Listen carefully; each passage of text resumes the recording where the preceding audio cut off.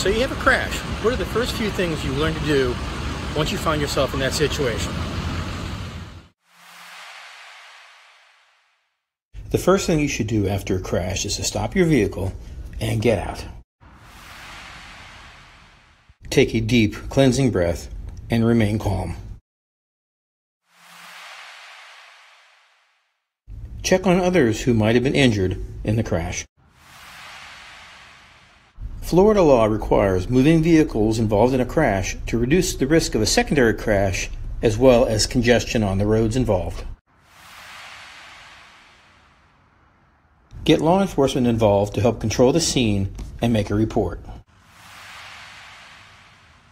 It is important for those involved to exchange insurance and related information.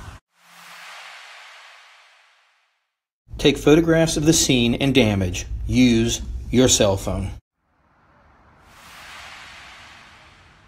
Don't say you were at fault. Let law enforcement investigate the crash. As soon as you can, call your insurance agent and file a claim. For the news press and news-press.com, this is Michael Braun.